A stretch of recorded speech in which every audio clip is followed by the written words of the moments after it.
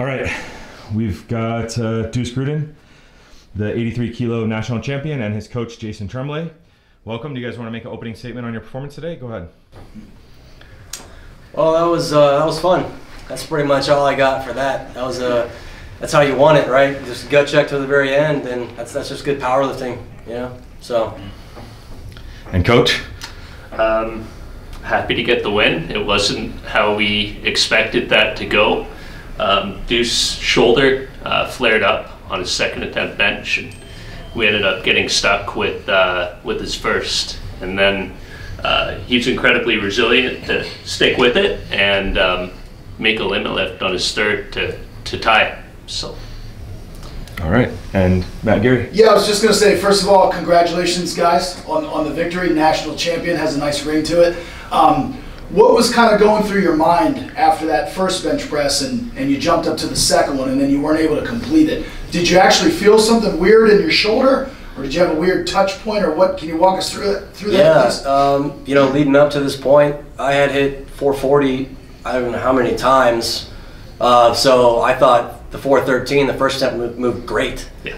And I was expecting to have a great second attempt, but um, before when we were warming up, we kind of tweaked the setup a little bit to help on the elbow depth, and maybe that had something to do with it. I'm not really too sure. I'm not trying to say having any excuses, but I don't know. Uh, I thought that 34, 35 was there, so we'll be we'll be, we'll be back though. Yeah, Yeah. for sure. Sam, you have anything? Yeah. Uh, do you have any plans for your next meet or next competition after this? Yeah, we'll see what happens with Sheffield. Uh, I know Delaney's gonna compete and go for that total. Uh, so depending on what happens there, we'll just take the next step. But for now, just keep on grinding and move on. Yeah, I was going to ask you. So uh, in, in Las Vegas, you know, we, we, we the ball didn't bounce your way, and, and you you made the deadlift on the platform, and then the jury overturned it. And today was the exact opposite. You know, you, you missed the lift, and then we went to the jury, and it got turned back in your favor. What was kind of going through your mind at that point? Uh, kind of the same thing that was going through my mind in Vegas. I was like, you know, I know I hit that lift, but god dang it, they're gonna do this to me again. Uh, it was great to have that the ball bouncing my court in that uh, manner. Uh, shout out to Angelo. Uh, I wish I could be joining to Arnold, but sadly, we'll have to wait for next time.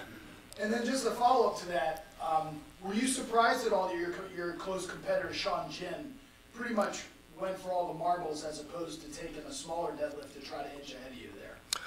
Not at all. Uh, from what I saw, that third pull he had was was pretty much there. I mean, he's gonna he's gonna have that, no question. And the next time he competes, and you know, shout out to Sean. He's a great lifter, young, up and coming. So, gonna have to watch out for him. And I, I think the the only thing I would add to that is uh, after the meet, I, I talked to Sean's coach, Jerron, um, and, and he mentioned that the Carpino 825.5 uh, was their goal. Um, so they were they were set on, on going for that.